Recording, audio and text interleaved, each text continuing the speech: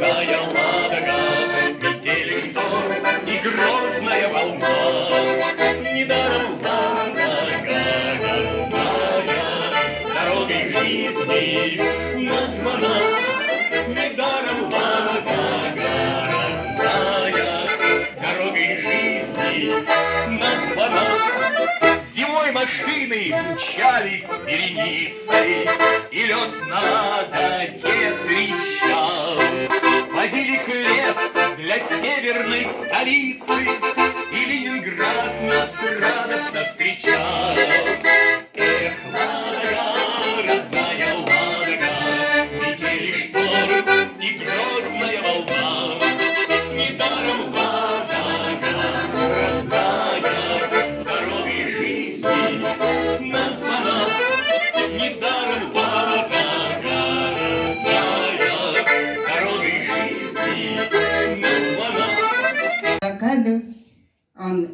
выводил людей по Ладожскому озеру. э, Ну, больных, стариков, детей, как вы знаете. Ну, а в Ленинград привозил продукты в основном. И вот, ну, конечно, он нам рассказывал детям, как он ездил, как это было дело, как это выглядело все. Но я вам это не буду рассказывать, потому что вы, наверное, все это знаете. Это, конечно, очень тяжело для и слышать, понимать, и, и видеть такое, человеку пережить это. Вот. И после, после войны он пошел, но он никаких как говорится, ранений не получил. Он был очень контужен. Но после войны он продолжил, продолжил э, военную ка- это, жизнь, как карьеру. И вот после учился на офицера, э, дослужился до подполковника. Молодец. видели. Я не помню почти ничего. Очнулся, это было уже в деревне Каменка, Кемеровской области, станция промышленная. Там тоже нич- почти ничего не помню. Помню, что ходил в детский сад. Вот. Еще, значит, Новый год встречали, 44-й. В школе Школа, значит, со скамейками для зрителей в актовом зале. И ходил Дед Мороз, раздавал подарки всем. Меня забыл или не дал. Короче говоря, потом я вдруг догадался, почему. Потому что местным ребятам матери имели денежку, чтобы купить этот подарок и вручить ребенку.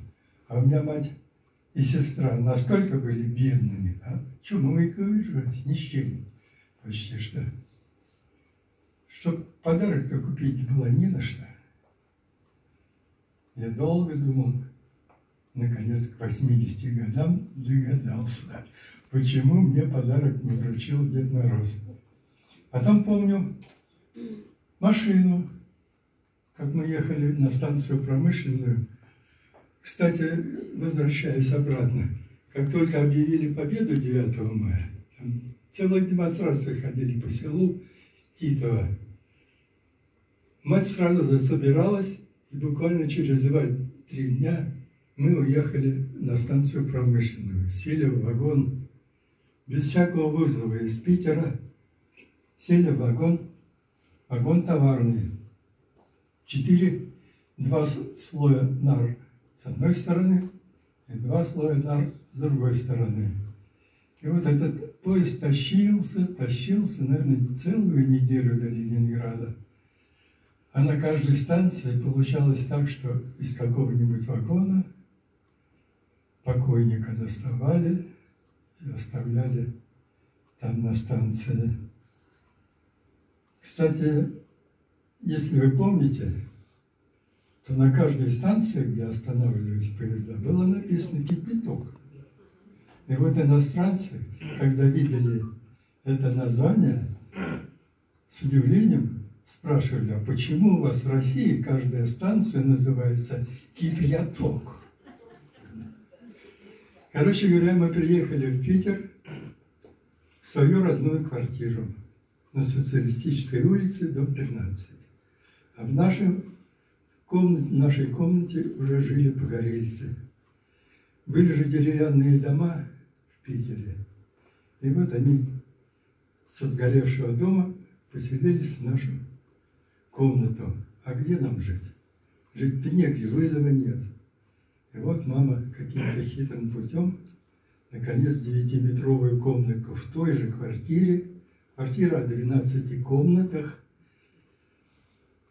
выбила себе под жилье, и вот оттуда я пошел в институт. Дело в том, что я помню тот ужас, который я испытывала, когда останавливался поезд, и все мамы наши бежали чайниками, с бетонами за кипятком. Я боялась, что поезд тронется, я, меня увезут, а мама останется. И этот ужас у меня 80 лет просто терзает, честно говоря. Я так боялась потерять маму, куда бы... Я уже выросла. И если маме куда-то было нужно идти, я всегда ее сопровождала. И вот этот страх меня преследовал, пока мама была жива. Я ее всюду сопровождала от того детского страха, ужаса, который я испытывала, когда мама покидала, когда мама покидала, вот э, там за кипятком бежала. И потом, вы знаете, хочу сказать, что в, в то время было очень много очень добрых, не родственных, очень добрых людей, ленинградцев, потому что у нас все поумирали в Ленинграде, а вернуться было из эвакуации можно только по вызову. И те, э, была в одной комнате с нами сестра, которая пекала свою сестру. Она была э, чем-то больна, и вот постаршая сестра ее опекала. Им пришел вызов, они уехали. И потом уже через полтора года прислали нам вызов. И мы с мамой приехали, наша квартира все занята, потому что дом на Цердобойской разбомбили. И отец, который оставался в Ленинграде, он был не признан, у него был один глаз, поэтому он не был на фронте, но работал в тылу, что называется, в Ленинграде во время блокады. Он во время блокады умер. А дом на Сердобойской разобрали. Еще до того, как отец умер, то дом разобрали дрова, отцу дали э, площадь на Чайковской. И во время блокады отец умер. Мы вернулись по вызову совершенно не родственников. И когда мы пришли в ту квартиру, которую, комнату дали отцу, то нам даже дверь не открыли, кто-то занял уже, ни вещей, ничего. Говорят, мы ничего не знаем. Отец умер, значит, время блокады. И э, квартиру заняли. И вот так мы с мамой остались совершенно э, без э, жилья. И всю очень долгую часть жизни мы с ним остались по знакомым. Потом все-таки, я, вы знаете, что я догадалась? Потому что дом, где мы были эвакуированы, его значит, разбомбили вместе с Жактом. Исчезли все документы. И когда появилась в 91 году, по-моему, 91 если не раньше, вот эти блокадные темы, то я пыталась э, достать э, ну, документ, что я была эвакуирована. Пришла, ни, документов никаких нет. Но единственное, что я догадалась, я пошла в исполком, э, жилищный комитет, просила, чтобы они достали документы эвакуированных. И вот по эвакуированному вот этому удостоверению нас поставили на очередь, в которой мы стояли там 25 лет. Ну, в общем, получили, потом, в общем-то, площадь. Намыкались, конечно, жутко-жутко. Но слава богу, что все кончилось Я родилась в многодетной семье. Я двенадцатая. У меня мама, это, мать героини первой степени, когда было еще девять. Косыгин ей лично подписал под бумажку, и этот талончик, и нее медаль. Но я хочу рассказать про отца. Отец мой 1896 года рождения. Он прошел четыре войны. И вот последнюю войну он мне рассказал, он был 17 раз ранен. И, значит, последнюю войну он сказал, рассказывал, что, ну, как-то попали они в окружение, и один говорит, что надо Днепр переплыть. И вот один взвод переплывает, а там немцы на той стороне. Они, многие не умеют даже плавать. И пук-пук-пук, и все постреляли. Второй. А третий уже говорит, все, мы перекрестились, и, значит, это, уходить. И вдруг раз этого главного стреляют. И говорит, ребята, не будем умирать просто так. И все разошлись, куда попало. И он попал в эту в партизанскую группу, ну куда-то вот в партизаны. Ну, взяли его и говорит, ну что делать, пойдете вместе вот там с этим, э, с военными. Пошел он. И попал тоже в окружение. И они попали в Синявинские болота, их загнали. И так они стояли, все, некоторые умирали. Ну, сколько в Синявинских болотах постоишь? И говорит, с нами была женщина с грудным ребенком. И говорит, я вас выведу ночью. Я, говорит, знаю дорогу. И вот они ждали ночь. Ну, кто упал, тот упал. Ну вот, и они по пошли, и вдруг ребенок заплакал. И вы не представляете, вот когда отец мне это рассказывал, у него были слезы на глазах. И эта женщина задушила ребенка, чтобы только спасти 30 человек солдат. И она, и она своим вот таким вывела. И говорит, вот почему ее никогда не представляют? Это же прям сам Бог велел, что она герой. И так он много очень рассказывал мне, очень много. И вот он был Курская дуга, там, говорит, было э, лобовое столкновение, танк на танк шел. Да, и танковое столкновение. И вот он там был ранен в голову. А у меня сестра старшая была, ну, сумкой, медсестра или как там это. И он, истекая кровью, а сестра наткнулась на него на своих плечах вынесла его оттуда, он остался жив. Ну, так много надо рассказывать. Но сказали, что надо поменьше. Вот. А еще хочу сказать, вот после войны, когда я пошла в школу, а я пошла в школу в Северской, да, и вот меня внучка сейчас спрашивает, бабушка, а что вот вы, ты так это за хлеб, вот не, не крошите, не убирай, не выбрасывайте. Я говорю, Маша, а ты знаешь что? Я вот когда пойду, тех 10 копеек стоила котлетка с кусочком хлеба. А я брала краюху хлеба, подсолнечным маслом намажу и чуть-чуть сахарку. И вторым прикрою. И, по, и в туалете потихонечку ела. Мне было стыдно, потому что я не с котлеткой ем, а хлеб. Даже 50, сейчас скажу 41 40 Восьмой год я пошла в школу. Даже в сорок восьмом году у нас мы были голодные. Ну, да, так много. Отец мне много рассказывал. О, что вот одну расскажу. У нас отобрали в лошадь. И мама поехала с тремя в Москву. И вы не поверите, она была у Крупской на приеме. Вот. А и говорит, ну вы ее накормите и оденьте. Дети-то были, в чем там попало. А когда дали, говорит, есть винегрет. А раньше этого не знали, что такое винегрет. Мама говорит, не ешьте. А вдруг, говорит, отравлена. Ну вот. А одна ненуха у нас это, она крадочку все равно съела. И говорит, мама, так вкусно. И когда приш- пришла вот на прием к Русской, и она сказала, у нас отобрали лошадь, потому что все отбирали. Не, что мы отцу дали, как многодетному, лошадь. А эту лошадь отобрали, она нас кормила. Ну вот, и говорит, это, это был 37-й год, по-моему. Вот, и это, когда, говорит, на это, она говорит, вот нас, а, я, говорит, осталась ни с чем. А говорит, идите, вы, все будет. И когда мама приехала, и лошадь вернули. Вот, видите как. Так что пережила блокаду.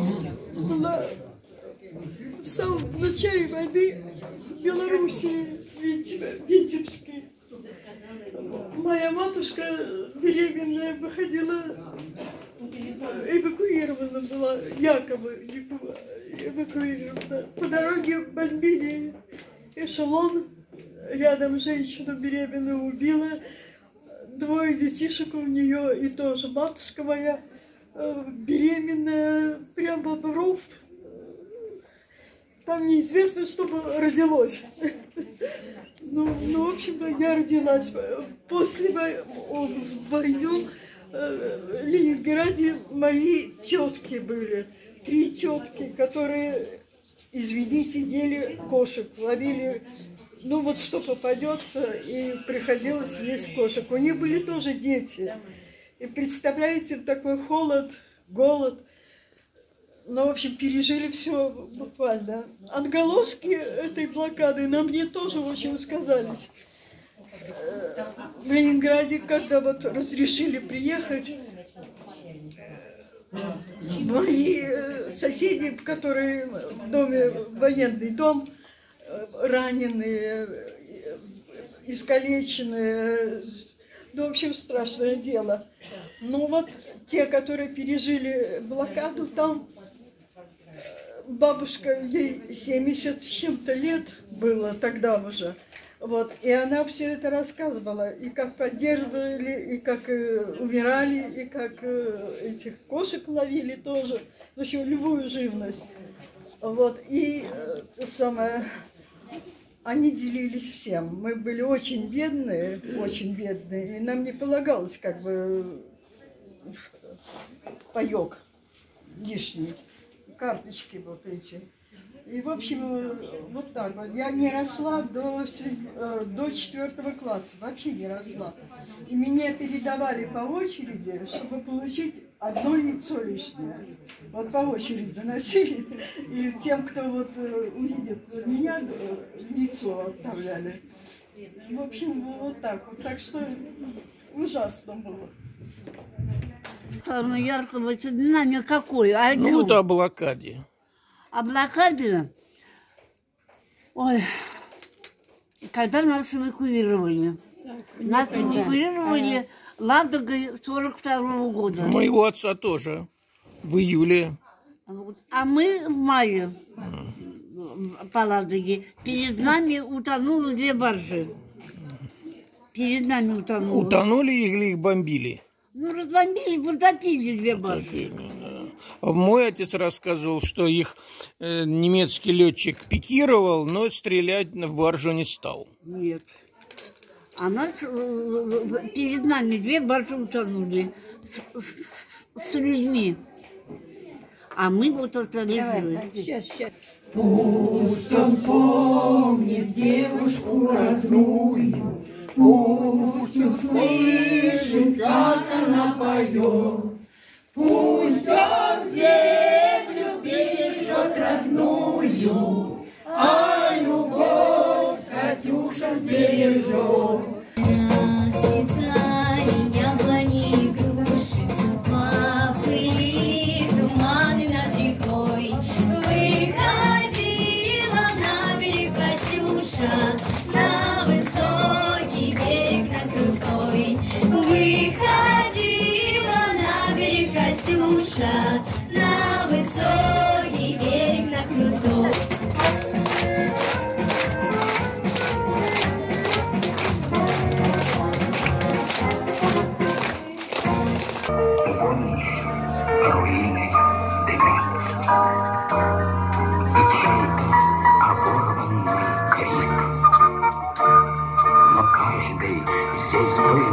был ленинградцем.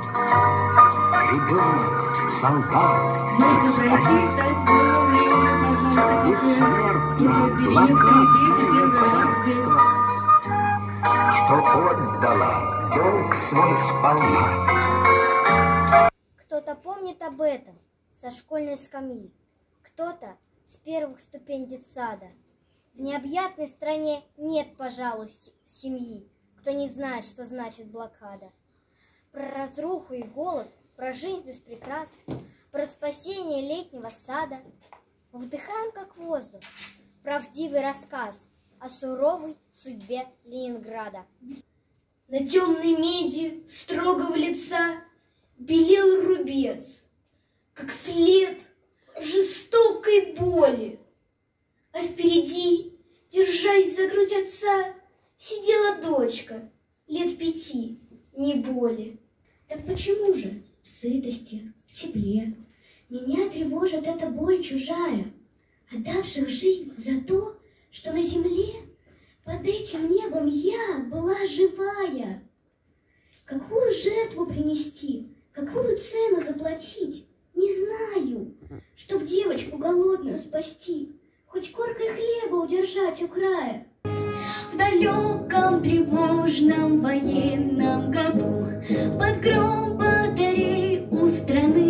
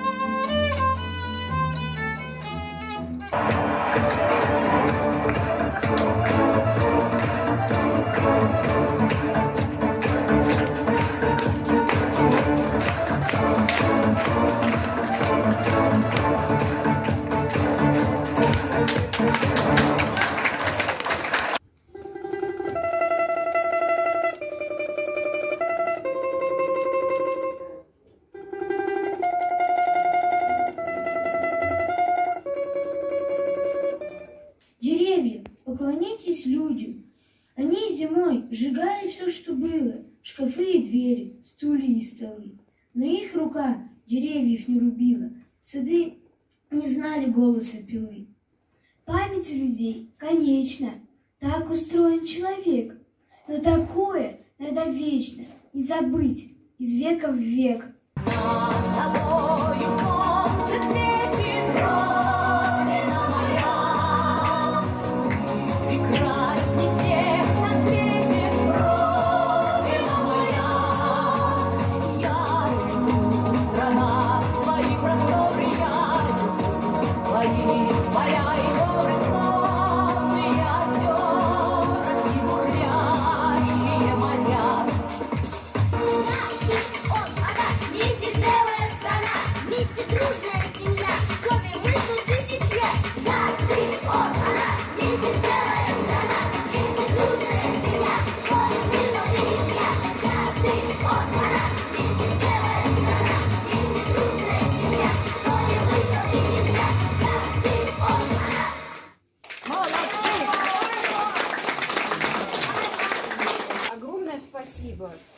ваш человеческий подвиг, за то, что вы подарили нам жизнь, за то, что вы подарили нам мирное небо над головой, за то, что вы так дружно собираетесь, приходите, радуете нас, за то, что вы несете нам в жизнь вот эту память, за то, что таким образом вы воспитываете наших детей, приучаете их к, этой, к этому добру, этим правильным вещам. Огромный вам низкий человеческий поклон за ваш подвиг. Спасибо вам большое. Вам спасибо. Вам спасибо.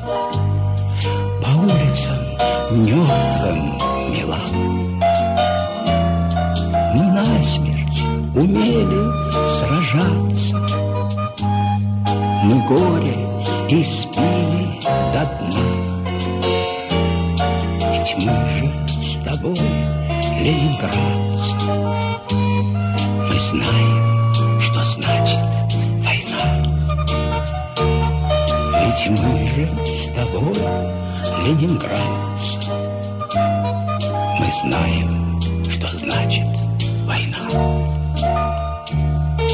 Ты помнишь, руины дымятся, И чей-то оборванный крик. Но каждый здесь был ленинградцем, Ребенок, солдат и старик. Бессмертно блокадное братство, Что отдало долг свой сполна. Ведь мы же с тобой, ленинградцы, Мы знаем, что значит война. Мы помним с тобою сквозь годы В разрывах сплошных горизонт. И как из промерзших заводов Шли грозные танки на фронт, Душе не давая сгибаться. Мы верили, с нами страна. Ведь мы же с тобой, ленинградцы, Мы знаем, что значит война. Мы знали отчаяние и смелость Блокадных ночах без огня. А главное, страшно хотелось Дожить до победного дня. Нам с этим вовек не расстаться. К нас подвигу память верна. Ведь мы же с тобой, ленинградцы, Мы знаем, что значит война.